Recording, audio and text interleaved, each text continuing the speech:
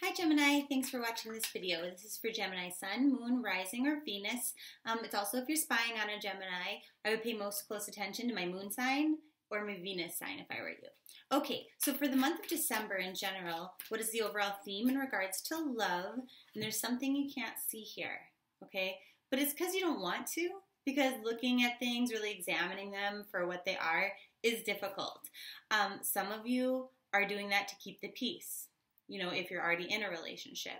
Some of you um, might have just run away from a relationship in hope of finding something a little less dramatic or chaotic, you know, a little more stable. Um, and some of you are like, you know what, I just want to have fun. um, and, you know, the fun aspect here going out, having a good time might be why you're still single. Um, but it might also be for those of you who are in coupled relationships, um, kind of just something that you're doing to distract yourself from these feelings that you're having that you don't want to think about. You might know that you're in like some some wavy emotions or choppy waters and you want to get to a place of of calm and tranquility, and that might require you to leave. Um, and it's just something you don't want to think about. So instead, you might be drinking a little bit, might be having some fun with that kind of a thing. Um, what are the things that are working for you in regards to love in the month of December?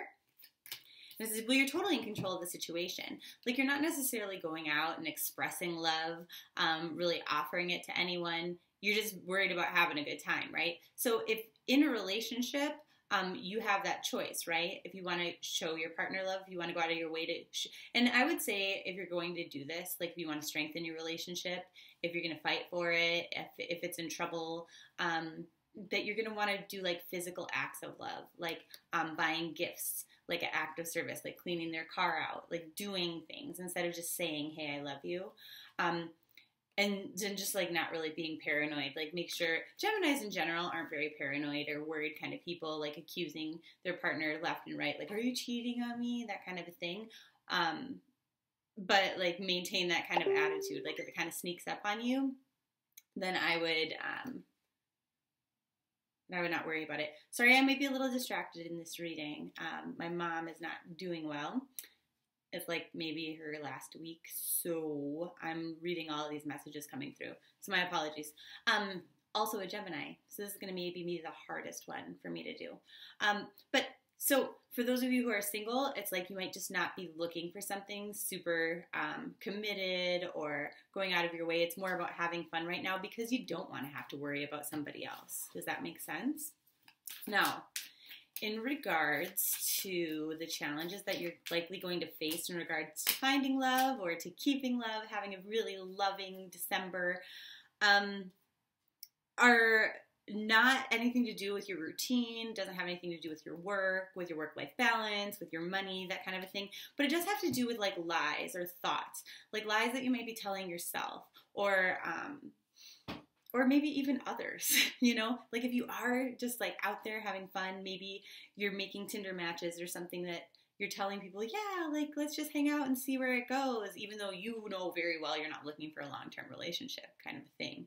Or um, this could also be, you know, maybe you're dating somebody and they don't tell you that they're married and they are, or um, in your relationship, this could be maybe you're cheating on your partner. It could be any of those things.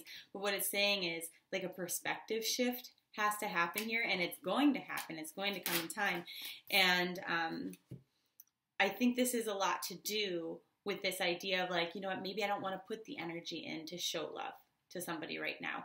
And so um, it's almost like you're acting out. Does that make sense? Why are you acting out? Goofballs. Let's even get an answer for that. They're like, well, it's not really something we need to worry about right now. The fact is that you probably are. Let's even get a lesson card here. And they're like, spontaneity is just like kind of like you just to to not deal with your feelings or your emotions and you know difficult thoughts is just like spur of the moment i'm going to do this i'm going to do that um, and it's saying you know you're trying to move beyond the constraints of your mind as i said and just freely embrace these new situations so for a lot of you this could be a challenging month because a lot of transitions um, could experience breakups that kind of a thing so i'm sorry geminis that totally sucks um, what is the best way out of the challenge challenges that we're going to be facing in the month of December in regards to love. And so you know what that enthusiasm, that excitement that you have, really embrace it. Like if you've decided that you're going to move on from your relationship, go balls to the wall with that. Like go have fun because this month is about fun. Um, if you're looking for a partner, like go out and have fun because maybe that's where you're going to meet them. They say like within two months things are going to come back into balance. Like as far as you know your um, reality, your real life, and then your fun life and your emotions and all those thoughts and things, they're all going to come back.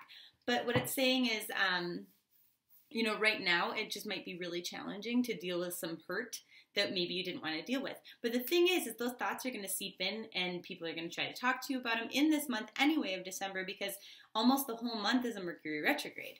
So how do we navigate that energy?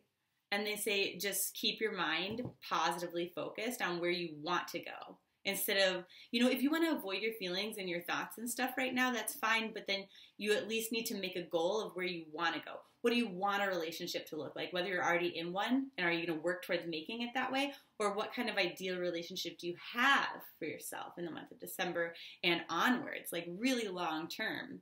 Um, because the chariot gets where they want to go by the power of their mind and their positive thinking. So that's your reading for December. Love and light and best of luck, Geminis.